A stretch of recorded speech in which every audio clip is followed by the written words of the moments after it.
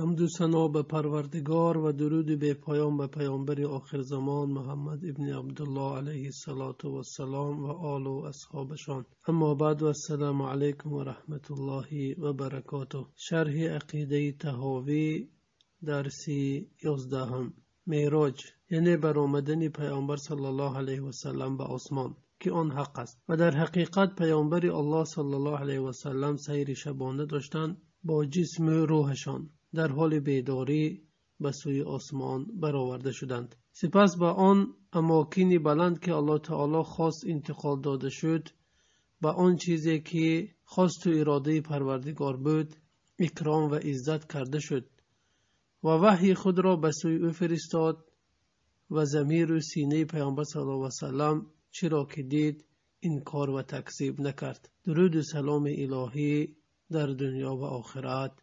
бар ӯ бод. Яъне аҳли суннат бо ҷисми рӯҳ баромадани расулуллоҳ сал алайҳи васалламро ба осмон дар шаби исро иқрор менамоянд. Исро сайри шабона кардан ки паёнбар сал алайҳи васаллам бо қуръон ва суннат ва иҷмои уламои ислом собит гардидааст ва сайри муборак аз макка шурӯъ шуда ба байтулмуқаддас идома ёфта ва паёнбар сал васалам дар он ҷо имоми паёнбарон шуда намоз гузориданд сипас мероҷ яъне бо рӯҳу ҷасад ба осмон оғоз гардид то ин ки паёнбар сал васалам ба осмони ҳофтум бароварда шуданд назди сидратулмунтаҳо расиданд. Аллоҳ таоло расули акрам сал алайҳи васалламро ба василаи мероҷ бо чанд имтиёзе азизу мукаррам кард ки дигар паёнбаронро ин тавр накарда буд аввал ин ки ӯро бо ҷисму ҷонаш ба маконе овард ки шахсе ба он ҷо то ҳол нарасидааст. Дуввум ин ки аллоҳ таоло бо ӯ дар он ҷо бевосита сухан кард.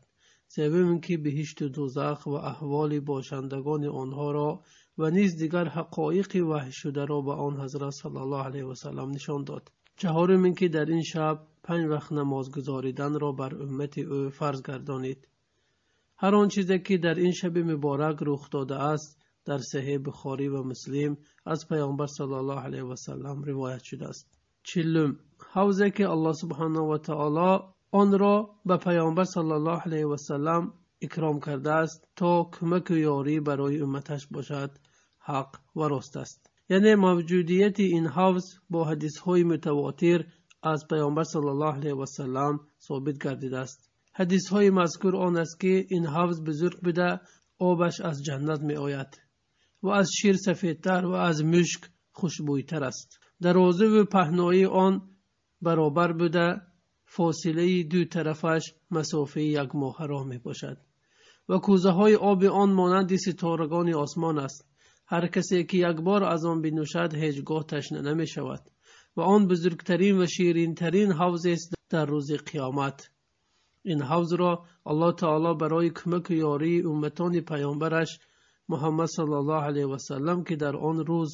ки дар он рӯзи ҳавлу даҳшат ташна мешаванд ба расул ва ҳабибаш муҳаммад саллаллоҳу алайҳи васалам аз ҷиҳату мақому манзилаташ бахшидааст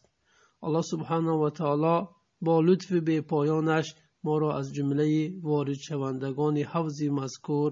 дар рӯзи қиёмат бигардонад хулоса сайри шаб кардани паёнбар саллаллоҳу алайҳи васаллам аз макка то байтулмуқаддас ҳақ аст. Мероҷи паёнбар сал васалам ба осмон сухан кардан бо худованд дар осмон ва ҳавзи кавсар ҳақ ва ростанд ва ҳадисҳои паёнбар сал васалам дар ин бора низ ҳаққанд